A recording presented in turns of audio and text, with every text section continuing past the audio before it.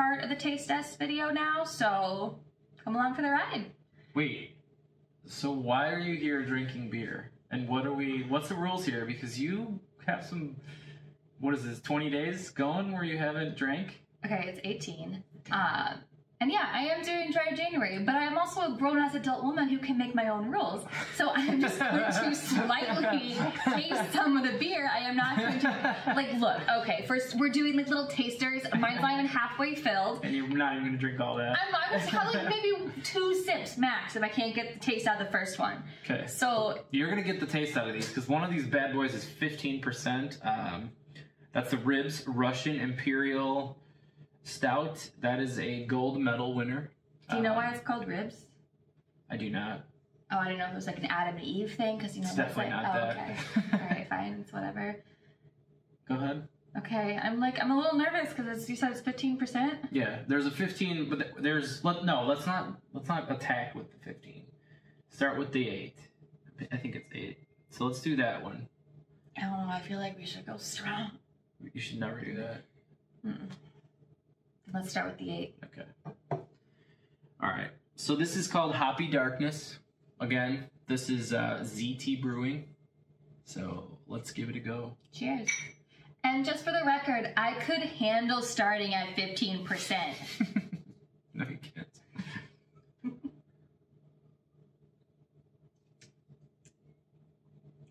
that's good. It's a stout, so. But I thought it was gonna be so much more hop. Like I was nervous because hoppy is in the title, and if you have been paying attention, I don't like IPAs or a lot of hop. yeah. But for having hoppy in the title, it's very subtle. But that darkness is. and we think it's a stout. So Zeke, just let us know if we're wrong I mean, in the comments. the color. The color looks like a stout.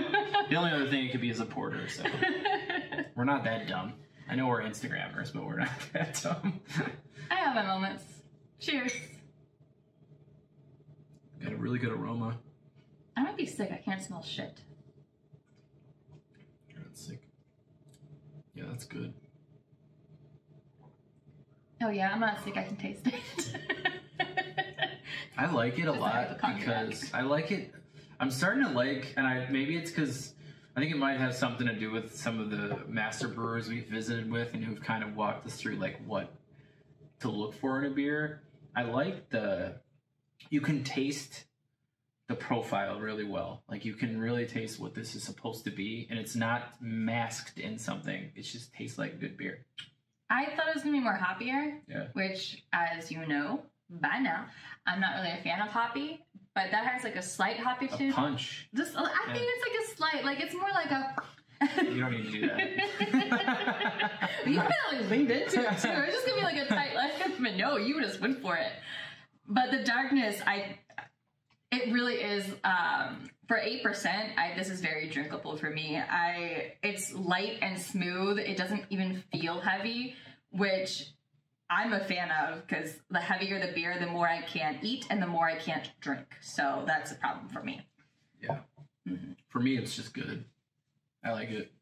Nice. All right, next one. Yeah. Okay, next one we got is a Russian Imperial Bourbon Barrel Stout called the Ribs. So there's where your ribs comes from. A Russian Imperial Bourbon Barrel Stout. Get it? Oh, I do get it. Is it the fifteen percent? Yes. Good think it's a little baby one. Ooh, that is uh, a strong. Yeah, baby. I didn't, ta- I didn't taste it. I just smelled it. But that's a. Strong... this is delicious. They're both really good, but this has got. I mean, this. The barrel aging on this is amazing. It's nice and chocolatey. It's thick. It's. This is an ass kicker. It is. Um, to me, it's So slightly, slightly slicker. Slicker. That. Oh God. Thicker than a Snicker? I'm sorry. Well, like I just had one drink. Yeah, that's what dry January will do to you. okay, okay, okay. First of all, yes, I am doing dry January, but I'm a grown ass woman who can make up her own rules, and two sips does not count as anything Well, I'm in my rule book. So I'm stoked for that because that means I get to drink most of it. you are drinking most of this. I don't even think I could drink a whole bottle of that without like that's too strong landing on my ass. Yeah. Um, we got a bunch of stickers too. So Zeke is a sticker swapper, so make sure you're doing that. Um, we have stickers. We've I sent out like 20, maybe 30 yesterday. So please, if you have not gotten stickers, I try to get the whole list, but make sure that you're telling us. We're good with that. Um, And I cannot stress this enough that if you do not get your stickers, it's not because of me. I am doing nothing. you're working on event calendar, so why don't you tell them about that? Oh yeah, you guys should check out the event calendar I have on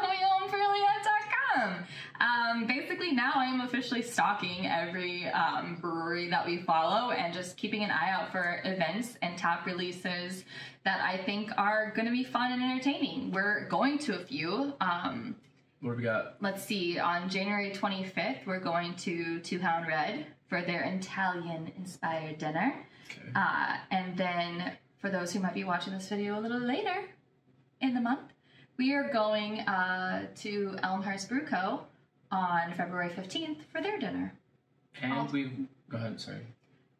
And for those who still can't get enough to eat and drink, there's also a Chilean Stout Night on February, is it 10th or Uh, 4th? We'll get back to you on that. If I feel like the fourth, I feel like it's the 4th too. we'll get you the right date. It'll be in the comments or in the right. Or just go check out the website, or go check out the stories I post, or just check out our Instagram. Like, I post everything for you. Or just go to Chaos. Um, I work hard. You can walk into Chaos, and if you're in the Chicagoland area, um, just check them out. Like, there's so many knowledgeable people, knowledgeable people there. Um, we're actually signing up to brew. Um, I've got a recipe that I picked out, and Provog from Chaos is going to help me. Hopefully, not mess that up too hard because I have not brewed a lot of beer in my life. But um, check out those guys; like they're super awesome. The community's awesome. Like, if you like beer and you live near us, then that's your place to go. And we will be at Go Brewing and Workforce Saturday. Yes, because I'm doing dry January. So she's trying her best to stay true. um, so yeah, and then we'll keep letting you guys know where we're at. So if anybody wants to hang out, we're cool with it. We're pretty normal. Mm, I don't know about that, but we're alright. I'd say we're fun. yes, no shortage of fun. So yeah, check us out at all those different things. Whatever, um, DM us if you're interested in doing some stuff. We're not shy.